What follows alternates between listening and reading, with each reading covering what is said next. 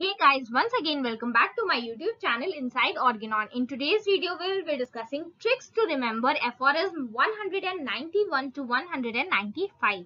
Friends आज के video में मैं कुछ वन लाइनर शेयर करने वाली हूँ जो ना सिर्फ़ आपका एफोरिज्म याद रखने में आपकी हेल्प करेंगे बट ऑल्सो ये एमडी और एमओ के प्रिपरेशन के एग्ज़ाम्स के लिए बहुत ज़्यादा इंपॉर्टेंट होते हैं। तो चलिए इसी के साथ इस वीडियो को स्टार्ट करते हैं। ऑल्सो फ्रेंड्स अगर आप चाहते हैं कि मैं ऐसे ही और वीडियोस अपलोड करूँ और वो वीडियोस मिस ना हो तो प्लीज़ मेरे चैनल को सब्सक्राइब कीजिए बेल आइकन प्रेस करिए, ताकि आप इनसाइड ऑर्गेनॉन के अपकमिंग अपडेट्स मिस ना करें।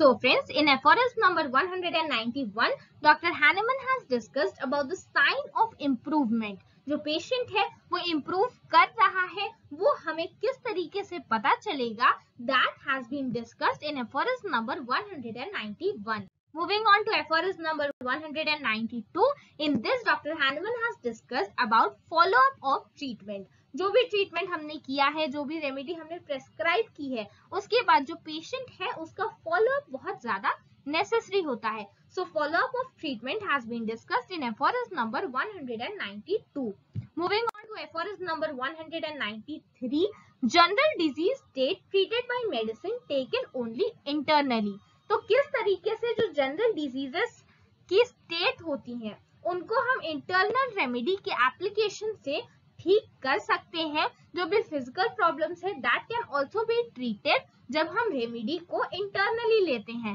दैट मीन्स टॉपिकल एप्लीकेशन नहीं करते हैं बट जो डायनेमिक फॉर्म में रेमेडी होती है, उसको through the sensation faculty of nerve body में इंट्रोड्यूस कराते हैं।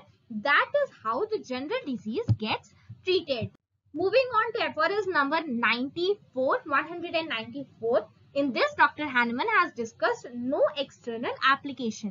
किस तरीके से एक्सटर्नल एप्लीकेशन का विरोध किया गया है दैट आपको जो टॉपिकल एप्लीकेशन जो सोप्स होते हैं क्रीम्स होते हैं लोशंस होते हैं ऑइंटमेंट लिनमेंट्स होते हैं उनका किस तरीके से यूज़ नहीं करना है that has been discussed moving on to aphorism number 195 the last aphorism of today's session In this, Dr. Hahnemann has discussed about appropriate antisoric after acute subsides. So, किस तरीके से जब हम डिजीजेस का ट्रीटमेंट करते हैं तो हम सबसे पहले एंटीसोरिक रेमेडी नहीं इंट्रोड्यूस करते पेशेंट में बट हम उसके अक्यूट सिम्टम से उसे रिलीफ दिलाते हैं and once the patient has recovered from the acute symptoms जो अक्यूट सिम्टम्स होते हैं वो सबसाइड कर जाते हैं देन नेक्स्ट काम हमारा होता है एंटी मियास्मेटिक ट्रीटमेंट देना and in that case be introduce an appropriate antipsoric remedy जो कि पेशेंट को ट्रीट करने में हमारी मदद करती है।